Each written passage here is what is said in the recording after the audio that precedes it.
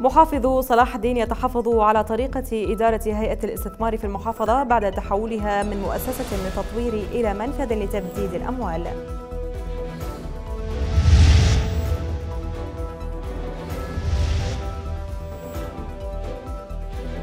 محافظ صلاح الدين يشرف شخصيا على أعمار حي العصرية في الصينية ويطالب بقصص نجاح تعجل عودة النازحين واستقرار المنطقة.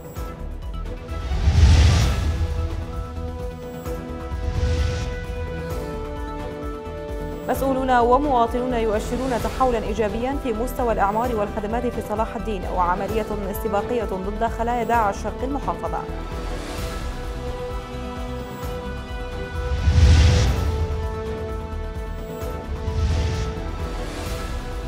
والانتخابات تعود إلى جدل التاجيل والسياسيون يحذرون من خطورة القفز على التوقيتات والرقابة المالية تكشف عن هدر مريب بالمال العام.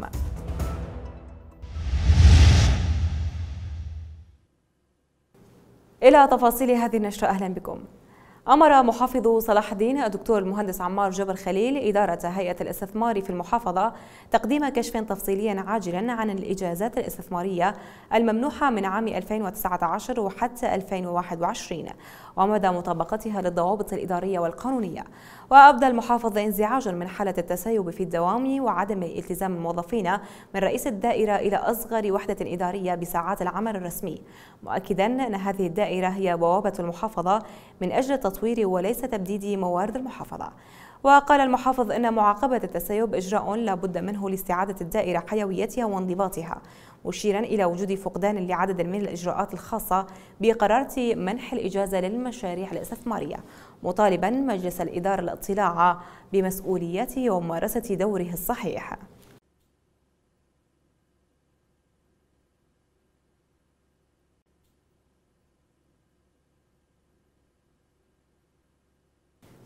وقال محافظ صلاح الدين خلال لقائه بعدد من موظفي هيئة الاستثمار بالمحافظة أنه لا بد من إيجاد حلول إدارية للنهوض بعمل الهيئة بالشكل الذي يطور الأداء.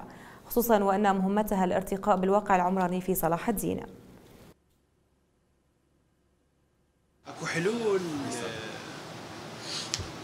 تكون في تغيير الإدارة. ولكن الآن انتقلنا من تغيير الإدارة إلى العقاب. أنا ما راح أغير الإدارة راح أعاقب الإدارة كلها. راح أعاقبها لأنه استهترت بأموال صلاح الدين وب أولا أستاذ ظافر خلال 24 ساعة يتم تزويد مكتب المحافظ بالإجازات الممنوحة للأعوام 2019 2020 2021 مع مع إضبارة كل مشروع. كل مشروع. مع سجل مجلس الإدارة. هذه الدائرة انوجدت حتى تطور صلاح الدين. ما انوجدت حتى تبدد موارد صلاح الدين. طالب محافظ صلاح الدين الدكتور المهندس عمار جبر خليل الدوائر الخدمية العمل الفوري لتوفير الخدمات ومستلزمات الاستقرار في حي العصرية بناحية الصينية. ووجه المحافظ خلال ترأسه اجتماعا لمدراء الدوائر الخدمية والقوات الماسكة للأرض وشيوخ ووجهاء عشائر الصينية بحضور النائب قتيبة الجبوري لتأمين احتياجات أهالي الحي الذين سيعودون من النزوح في قطاعات البلدية والطرق والكهرباء والماء والصحة والتربية. إضافة إلى بناء مقر للقوات الأمنية. أكد المحافظ أن عودة أهالي حي العصرية سيضمن الاستقرار الأمني والمجتمعي فضلا عن تدوير عجلة الاقتصاد في المنطقة والمحافظة بشكل عام. مبينا أن هذه الإجراءات ستتبع مع كل المناطق التي سيعود أهلها من النزوح.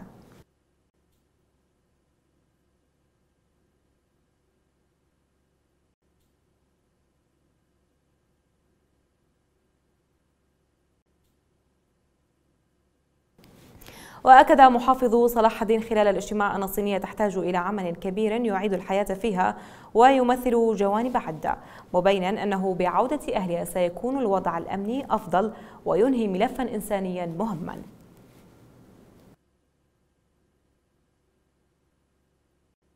الصينية قضاء كبير يحتاج إلى عمل أكبر. عودة الحياة بالنسبة إلى تمثل لنا عدة جوانب. أولا اجتماعية وثانيا عندما ترجع الحياة في هذه المنطقة الفلاحين وأهل المنطقة راح يكون الوضع الأمني أفضل. وأيضا تمثل لنا آه، يعني آه، إنهاء لملف مأساوي هو ملف النازحين آه، بجهود الإخوان في القوات الأمنية. فإحنا هسه صار القرار كالآتي. إكمال متطلبات البلدية توفير الآليات. وفرنا لكم 15000 لتر غاز. توفير الآليات من البلديات الأخرى وافقت عليها. وإنشاء حدائق وإكساء آه، للمناطق المتضررة. هذا فيما يخص الجزء البلدي. بالنسبة للكهرباء توفير ثمان محولات مع ملحقاتها الاسلاك والأعمدة. بالنسبة للماء آه، توفير آه، خط ناقل وماء يصل للمنطقة. بالنسبة للصحة بناء مركز صحي وبتجهيز كرفانات بالوقت الحاضر حتى إحنا نقدر نمارس العمل بالنسبة للتربيه آه، راح ندرج بناء مدرسة. إحنا نشتغل نستعين بتربية نينوى لأن التربية بصلاح الدين ما عندنا. نستعين بتربية نينوى بلكت يساعدونا بالموضوع. أو بتربية كركوك أنا راح أخابر المحافظين. أقول لهم دزونا أحد من هناك شدد الدكتور المهندس عمار جبر خليل على ضرورة تأهيل مقر القوات الماسكة للأرض في ناحية الصينية مع توفير دعم لوجستيا وفنيا لحملة الأعمار مطالبا الجميع التفاعل والتكاتف لخدمة أبناء صلاح الدين. نهيئ أيضا آه، مكان للقوى الماسكة للأرض تأهيل مكانهم آه، وكذلك تجهيز المنطقة بإسعاف حديث من الإسعافات اللي جابتها المحافظة. آه، وإكمال المشروع ال 500 متر مكعب تسليفه. هذا اللي هو طبعا أكو اثنين واحد هو بالصينيه وواحد بالمزرعة. اثنين اللي يتسلفن حتى يمشي الموضوع. فهذه هي القضايا اللي آه، طبعا عملية رفع الأنقاض تحتاج إلى وقت. لذلك إحنا راح نستمر بالحملة. وراح نبقى ندعمكم بموضوع الوقود وموضوع الآليات إلى أن تنجز هذه القضية، يعني أكيد صندوق الإعمار راح يساهم معنا في بعض القضايا اللي هي آه، نحتاجها في تأهيل وترميم يعني الدوائر في هذا المكان في الصينية. إن شاء الله على الخطط القادمة ندرج مشاريع أكثر راح نعمم هذه القضايا على بقية المناطق إن شاء الله ويكون إنجازها آه، سريع جدا. آه، ما نطمح له أنه الكل يتفاعل مع الموضوع بطريقته ويحاول أن يقدم شيء للناس لأنه هذه سنوات عبرت وماكو كان إنجاز في هذا المكان. آه، اليوم الحمد لله ممكن أنه يكون الإنجاز كبير بتكاتف الجميع وتكاتف جهود إخواننا في آه، القوات الأمنية اللي هم راح يحافظون على أرواح وأموال المواطنين في هذه المنطقة إلى أن تستتب آه، الأمن بشكل كامل. كشف مدير توزيع كهرباء صلاح الدين المهندس حسين عبد القادر عن المباشرة في تأهيل شبكة الكهرباء بحي العصرية بناحية الصينية بعد أن يتم رفع الأنقاض منها. مبينا أن المحافظة مغبونة بكميات التجهيز من الشبكة الوطنية إضافة إلى استهداف أبراج النقل من الإرهابيين. ما أثر في ساعة التجهيز. وثمنا دعم المحافظ لعمل دائرة الكهرباء. يعني العمل في القرية العصرية إن شاء الله مو صعبة سهلة آه، بس نحتاج إلى رفع الأنقاض من قبل جماعة البلدية يعني أنقاض كثيرة في المنطقة. محافظة صلاح الدين آه، يعني مغبونة بهذا المجال إنه إنتاجنا داخل المحافظة قليلة وبالتالي إحنا آه، تجينا كهرباء خطين من بغداد وخطين من كركوك وخطين من موصل. لبعد المسافة يصير عندنا هبوط بالفولتية. إضافة إلى بالفترة الأخيرة عرفت أنه صارت استهداف للأبراج. حرمتنا من التجهيز خاصة المناطق اللي المتأثرة يعني اللي تغذيها هاي الأبراج. صار التفاوت في تجهيز ساعات التجهيز يعني بسبب إنه الشبكة مو متواصلة مع بعضها. العمل متواصل آه، على هذا الإجراء إنه نربط المحطات المحافظة مع بعضها. عندنا حاليا مشاريع تحت الإنجاز أو قيد الإنجاز محطات 33 محطتين في الشرقات محطة الحورية محطة سديرة. العمل آه، بدأ بها عندنا محطة زيتون كملناها في بيجي. عندنا محطة بيجي المطورة قيد التنفيذ خلال أسبوع أو أسبوعين تدخل للعمل. آه، عندنا محطة آه، مشتلة في سامراء. آه، وعندنا خطة إلى إدخال محطات أخرى بعد إكمال هذه المحطات محطة السجلة محطة الموقع في تكريت. السيد المحافظ متواصل ويانا وجدا متعاون ويانا والدليل إنه سوى لنا زيارة إلى معالي الوزير اللي أوعد إنه محطة بيجي الحرارية والمحطة الغازية اثنيناتهم راح يصير عقد على تأهيلها والسيد المحافظ مول عدد من المشاريع النقل اللي راح يصير لها تأثير كبير جدا على تجهيز المحافظة بالكهرباء. كشف مدير فرع وزارة الهجرة والمهاجرين في صلاح الدين خالد محجوب جاسم عن عودة كبيرة للأسر النازحة في جنوب المحافظة مشيدا بمتابعة المحافظ لهذا الملف الإنساني وتوفير مستلزمات الأمن والخدمات بما يعزز الاستقرار المجتمعي فيها مشيرا إلى توجه الوزارة لإطلاق منحة العودة لأبناء المحافظة. هنالك جهود كبيرة من قبل محافظة صلاح الدين والقوات الأمنية الماسكة آه، للأرض وقيادة عمليات آه، سامراء آه، لغرض عودة العوائل النازحة في جنوب محافظة صلاح الدين. أغلب هذه العوائل هي حقيقة تسكن في قضاء سامراء وفي محطة بلد معظمهم من عشيرة الرفيعات وعشيرة خزرج. إن شاء الله شهدت هذه المناطق عودة 400 عائلة ويوم غدا إن شاء الله ستشهد عودة 137 عائلة.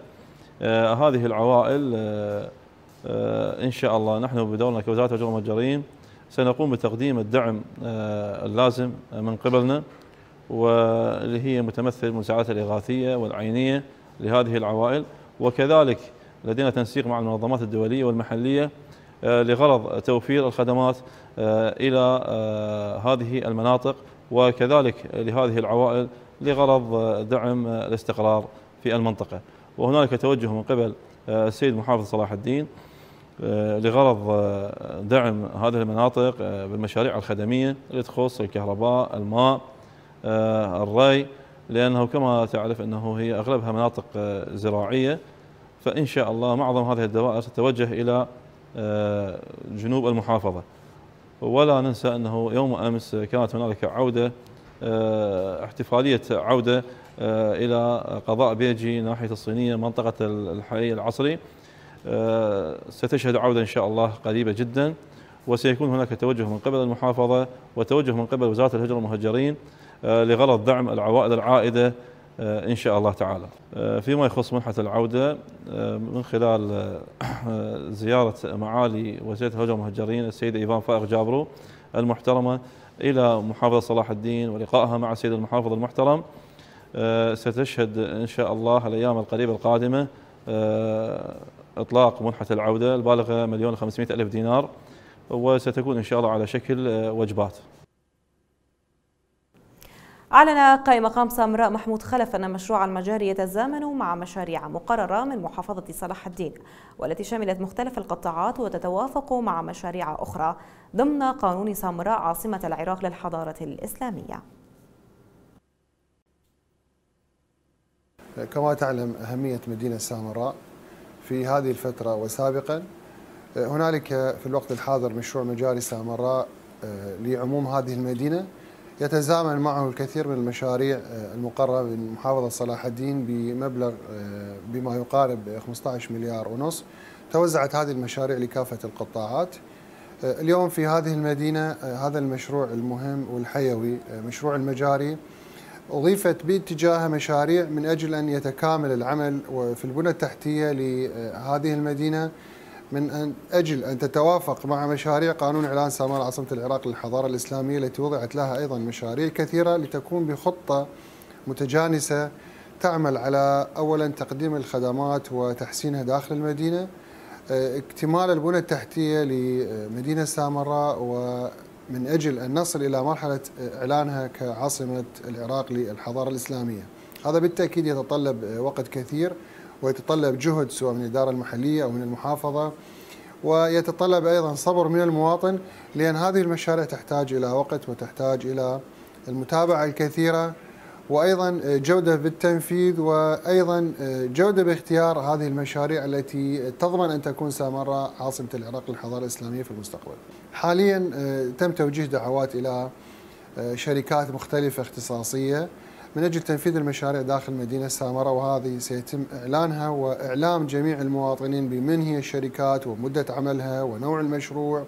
آلية التنفيذ ستكون بكل شفافية أمام مواطننا الكريم في مدينة سامراء لأن هذا المشروع مهم ويجب علينا إعلام الجميع بمضمون العمل. وأيضا خططنا اتجاه مدينة سامراء من خلال هذا القانون. خلال الأيام القريبة القادمة سيتم غلق الدعوات الموجهة ومن ثم فتحها من أجل إحالة المشاريع بشكل أصولي وفق الضوابط ووفق التعليمات إلى الشركات التي هي فعلا مصنفة لكي تعمل بهذه الأعمال المخصصة ضمن قانون إعلان سامراء عاصمة العراق للحضارة الإسلامية. نفذت قوة مشتركة من اللواء 52 بالحج الشعبي والرد السريع عملية تفتيش لملاحقة فلول داعش شرق مدينة أمرلي بمحافظة صلاح الدين. وذكرت مديرية الحشد أن العملية تهدف إلى تأمين أبراج الطاقة الكهربائية الرابطة بين ديالى وصلاح الدين.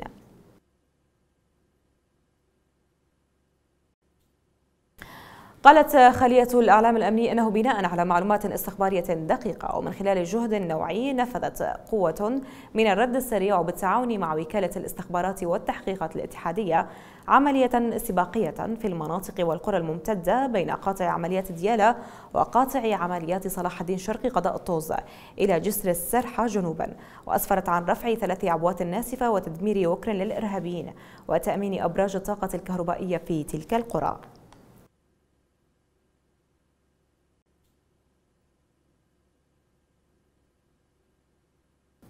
حسب توجيهات محافظ صلاح الدين باشرت بلدية قضاء أمرلي بحملة لتنظيف الجزرات الوسطية وزرع الثيل لإضفاء جمالية أكثر للمدينة. ودعا مدير البلدية المهندس مهدي جمعة المواطنين إلى التعاون مع الملاكات والحفاظ على الممتلكات العامة.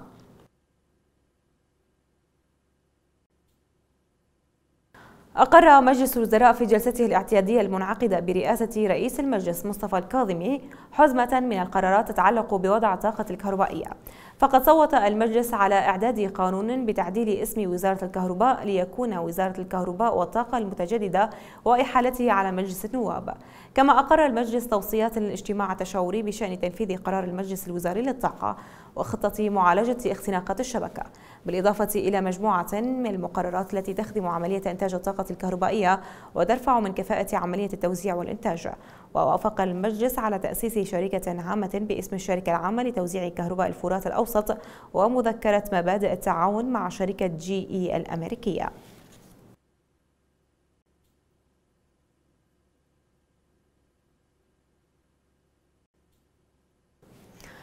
يتداول مراقبون بسيناريوهات كثيرة عن توقيت الانتخابات من بينها التأجيل حتى نيسان المقبل لضمان مشاركة التيار الصدري فيما قال رئيس ائتلاف دولة القانون نور المالكي أنه إذا تم تأجيل أو إلغاء الانتخابات فلن تعقد مرة أخرى. وأضاف نحن حريصون على أن لا يلتهب الشارع العراقي وهذا هو طلبنا من القوى السياسية. مستبعدا أن يكون هناك اشتعال للشارع العراقي. وأضاف نتمنى من جميع المقاطعين لأن يعدلوا عن هذا القرار ويكونوا شركاء. حتى لا يقول أحد نحن لم نكن شركاء في هذه العملية السياسية. وتابع بالقول أنا لا أبحث عن رئاسة وزراء بل أبحث عن إصلاح حقيقي للنظام الإداري والنظام السياسي للدولة. وإذا ما وقع علي الاختيار من الشركاء سأكون خادما للشعب العراقي.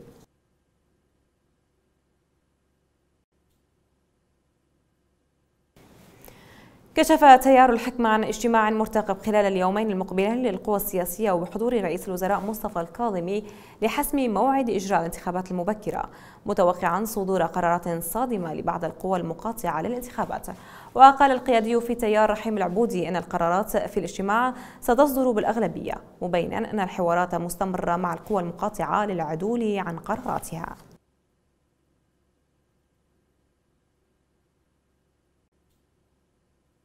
أظهر تقرير ديوان الرقابة المالية لعام 2020 تفاصيلا ومخالفات صادمة في مختلف الوزارات والهيئات الحكومية. تضمنت أهدار مليارات الدنانير وبطرق مريبة مشيرا إلى إنفاق 32 مليارا لتذاكر سفر لإيفاد موظفين وفتح بعثات فائضة عن الحاجة. وكشف التقرير عن قيام شركة الموانئ بمنح شركة فحص 50% من إيراداتها رغم استخدامها أجهزة الشركة. أما وزارة الصحة فإنها قامت بالتعاقد مع أحدى الشركات لشراء نظام GPS لسيارات الإسعاف في سنة 2012 وبمبلغ أكثر من مليارين ونصف المليار دينار فيما تبين التعاقد مع الشركة نفسها لشراء ذات الجهاز قبل ثلاث سنوات بأقل من مليار دينار. ومع ذلك لم يتم تشغيله منذ عشر سنوات.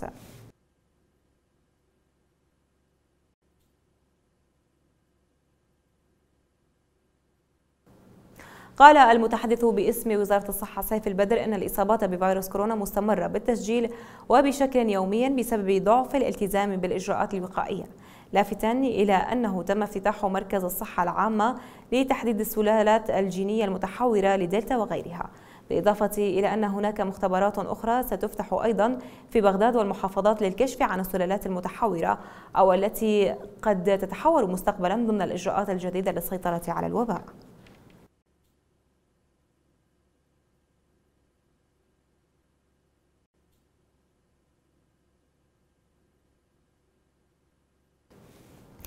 باتت جبال قرشوغ التابعة لقضاء مخمور تعرف بأنها العاصمة الجديدة لداعش والملاذ الآمن الذي يستقر فيه عناصر التنظيم.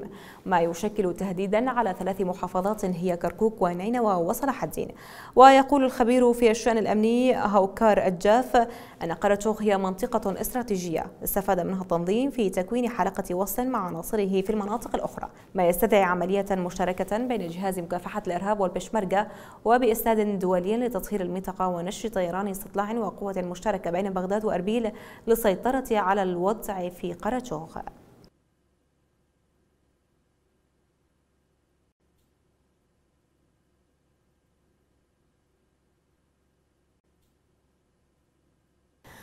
ألقى مكتب التحقيق في هيئة النزاهة القبض على أحد الضباط وهو مدير شعبة البحث والتحري في هيئة المنافذ الحدودية منفذ زورباطيا بعد ورود معلومات مؤكدة عن قيام الضابط بابتزاز المخلصين الجمركيين وفرض أتوات عليهم إضافة إلى رشا بمبالغ كبيرة لتسهيل مرور العجلات المخالفة للوائح الجمركية والأمنية.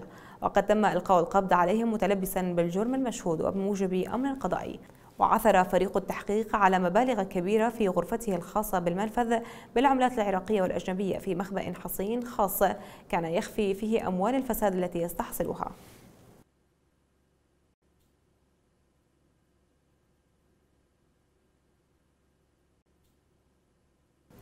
شهدت مشاريع تربية النحل نشاطا ملحوظا في قضاء الدجيل بعد توجه الشباب لاستثمار هذه الثروة حيث استطاع المربي سرمد المقدمي وبجهود ذاتية إنشاء منحل يتكون من عشرات الخلايا التي تنتج أجود أنواع العسل الطبيعي.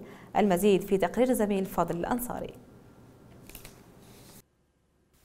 شهدت مشاريع تربية النحل نشاطا ملحوظا بقضاء الدجيل بعد توجه الشباب لاستثمار هذه الثروة. في المربي سرمد المقدمي وبجهود ذاتية استطاع إنشاء منحل يتكون من عشرات الخلايا ينتج منها أجود أنواع العسل الطبيعي. بدينا بتربية النحل كهواية بعدها طورنا مشروعنا. الحمد لله والشكر. آه، قدرنا نربي أكثر من آه، من من خلية عدة مواقع. بمحافظة صلاح الدين آه، منها بقضاء الدجيل منها بقضاء بلد بخارج قضاء الدجيل بالقرى والأرياف. عند انتهاء المصدر الرحيقي أو المصدر النباتي في مناطقنا ننجبر ننقل النحل إلى محافظة الموصل إلى محافظة بغداد في بداية موسم السدر إلى محافظة ديالة في بداية موسم الكالبتوز. ننتج عدة أنواع للعسل منها البرسيم الكالبتوز الشوكيات الأزهار المختلفة اللي هو الكوكتيل عسل السدر. مربو النحل أكدوا أن قطاع تربية النحل يواجه عدة تحديات في الوقت الحاضر. مطالبين وزارة الزراعة بوضع خطة للنهوض بهذا القطاع المهم من خلال إنهاء جميع المعوقات أمام النحالين للحصول على أجود أنواع العسل الذي يدخل بأكثر من إطار غذائي ودوائي وعلاجي. مناحل سرمد المقدمي بدأت بأربع إلى خمس آه، خلايا. الحمد لله اليوم عبرت ل 400 500 خلية آه، إضافة إلى ذلك آه، إحنا بدينا به بهواية. الهواية تطورت من المشروع مسقر إلى الحمد لله أصبح مشروع كبير، مشروع مربح، إضافة إلى ذلك. اليوم مثل ما تشاهدون الأسواق مزدحمة وتلقاها يتوفر بها عدة أنواع من العسل لكن ليس كل عسل هو ذو جودة ومو كل عسل أصلي. آه، إحنا كمجموعة من الشباب قدرنا نطور آه، نفسنا بتربية آه، النحل وأصبح إنه يعني مصدر رزق. تربية النحل مهنة صعبة جدا تحتاج إلى عناية مشددة.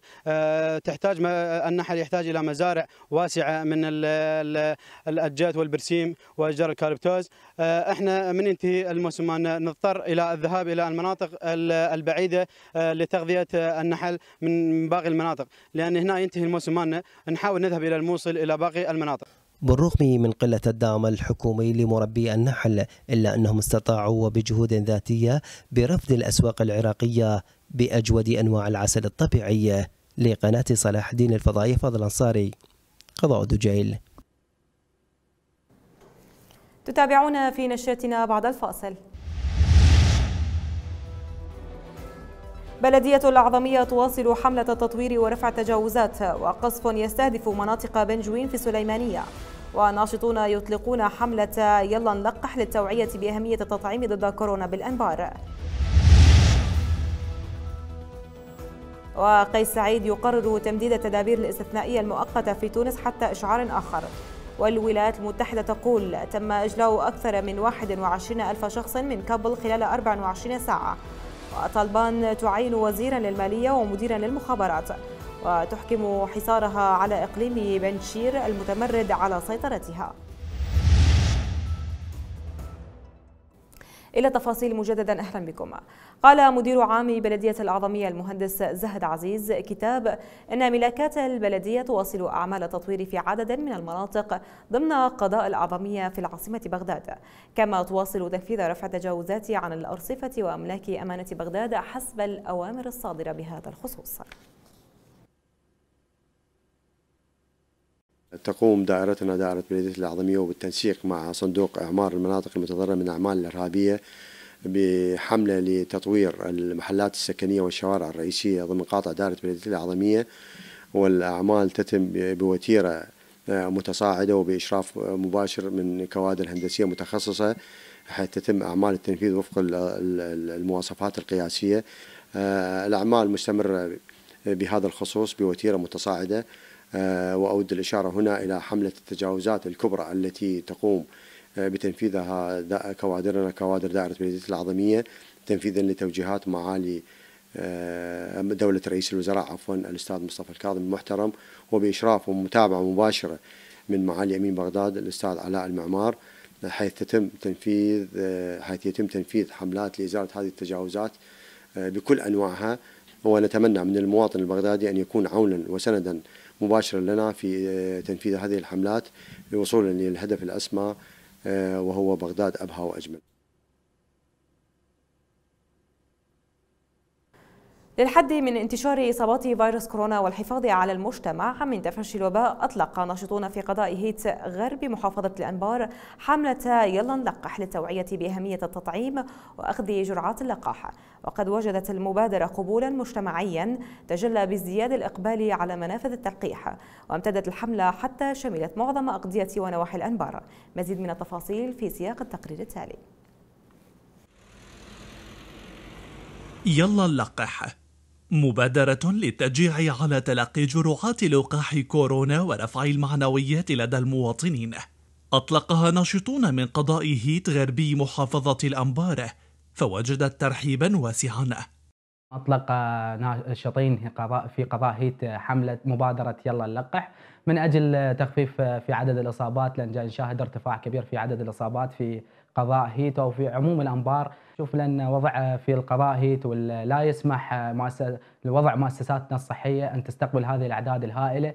صار اقبال كبير من قبل المواطنين داخل المدينة المراكز المراكز الصحية لتلقي اللقاح، نتمنى من جميع المدن الموجودة داخل محافظة الأنبار أنه تجري نفس المجرى هذا وتاخذ نفس الحملة وتطلقها داخل المدن حتى نكثف عدد الناس الملقحين والتقليل من الإصابة داخل المدن.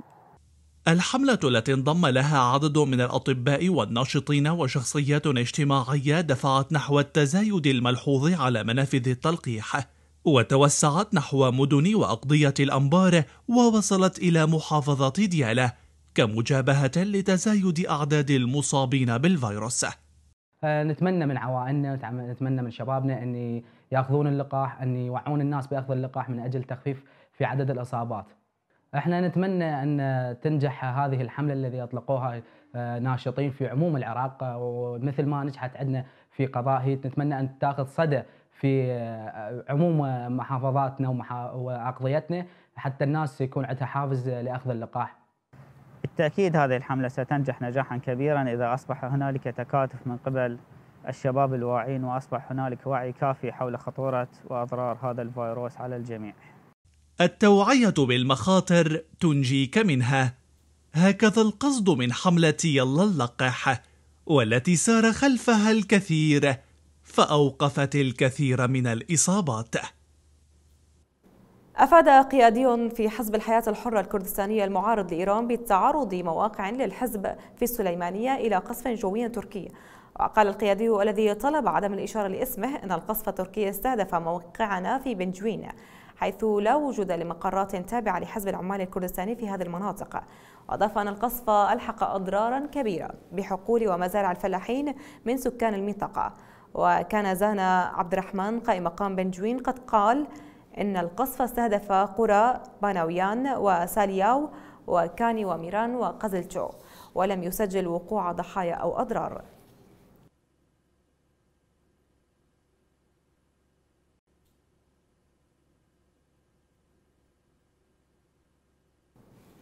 قصفت طائرات تركية منطقة شاربازير بكثافة حيث قام الجيش التركي بضرب 28 هدفا في شاربازير على امتداد سلسلة أسوس الجبلية. ونشر الإعلام الرسمي التركي تسجيل فيديو لعملية القصف في حين قال وزير الدفاع التركي أن الطائرات شنت غارات على أهداف بعمق 200 كيلومتر. وأن الغارات نفذتها طائرات F-16 وأخرى مسيرة.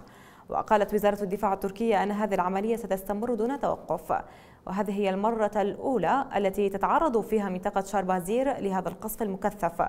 وكشفت الدفاع التركية عن أن 20 طائرة شاركت في تنفيذ العملية. وحسب تسجيل فيديو نشره الإعلام الرسمي لتركيا يظهر أن وزير الدفاع التركي خلوصي أكار أشرف شخصيا على تنفيذ العملية.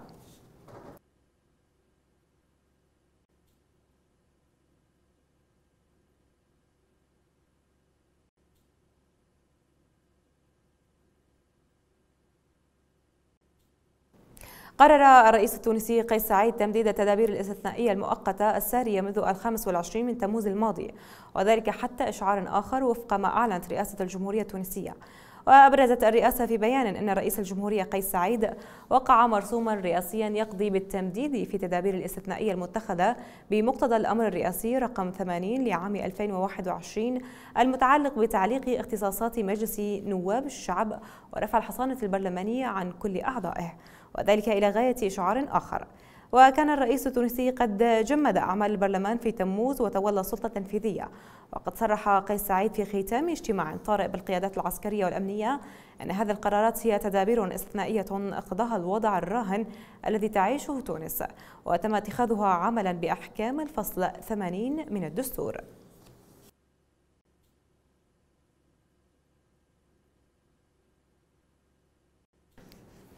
أعلن البيت الأبيض أن الولايات المتحدة والدول المتحالفة معها أجلت أكثر من 21 ألف شخص من العاصمة الأفغانية كابل خلال ال 24 ساعة الماضية. وقال المتحدث باسم الإدارة الأمريكية أندرو بيتس أن 21600 شخص تقريبا تم إجلاؤهم من كابل يوم الاثنين. وأشار المتحدث إلى أن قرابة 58 و700 شخص تم إجلاؤهم من أفغانستان منذ الرابع عشر من أغسطس. فيما يبلغ عدد الأشخاص الذين جرى إجلاؤهم منذ أواخر يوليو الماضي 63900 شخص.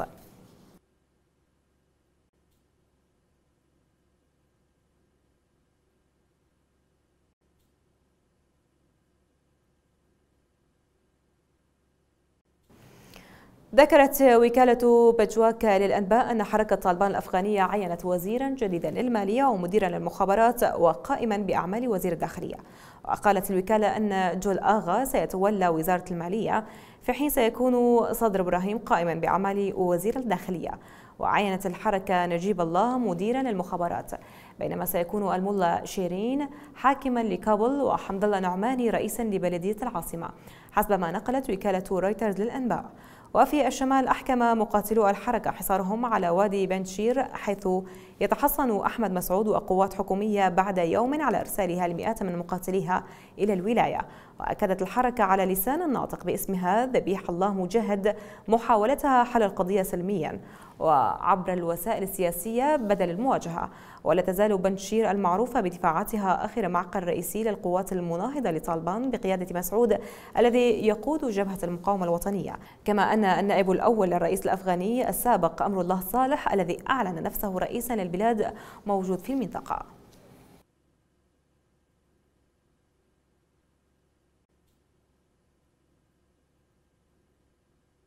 كشفت بورش عن مكان 2022 بتحديثات منتصف العمر التي شملت تعديلات كبيرة في تصميم الأداء أيضا. حصلت السيارة على شبك أمامي ضخم وتطعيمات سوداء كثيفة وأتي الصدام بتصميم جديد. وحصلت المصابيح النهارية على لمسة جديدة في حين أن الشفرة الجانبية التي تعمل على طول الجزء السفلي من الأبواب أصبحت الآن سطحا محكما ثلاثي الأبعاد. وفي الداخل وضعت بورش وحدة تحكم مركزية معادة التصميم توفر عناصر لمسية ومظهرا أبسط. وحصلت ماكان على عصا رياضية لنقل الحركة مع عجلة القيادة GT Sport القادمة من 911 ومن حيث المحركات حصلت فئة GTS الرياضية على 60 حصانا إضافية دفعة واحدة. وينتج محركها بالحجم 2.9 لتر في 6 ثنائي التيربو ما يصل ل 434 حصان. ما يمكنها من تحقيق تسارع من 0 إلى 100 كيلومتر على ساعة خلال 4.1 ثانية فقط.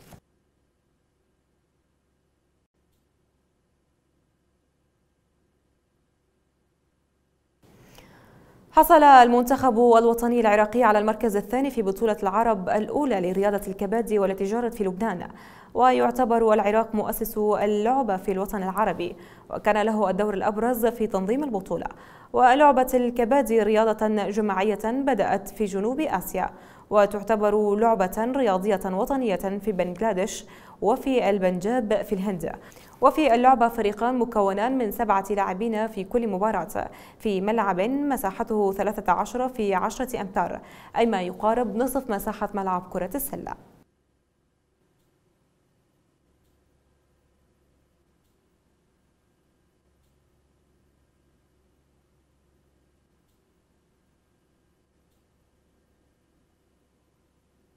إلى التذكير بأبرز وأهم العناوين.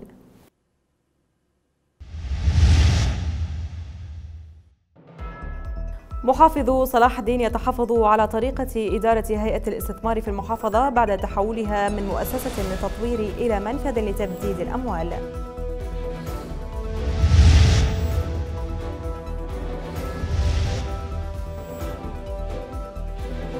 محافظ صلاح الدين يشرف شخصيا على أعمار حي العصرية في الصينية ويطالب بقصص نجاح تعجل عودة النازحين واستقرار المنطقة.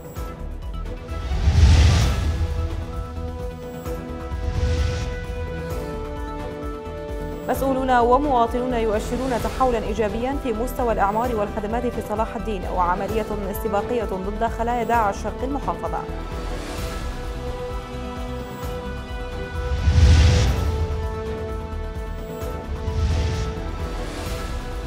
والانتخابات تعود إلى جدل تأجيل والسياسيون يحذرون من خطورة القفز على التوقيتات والرقابة المالية تكشف عن هدر مريب بالمال العام.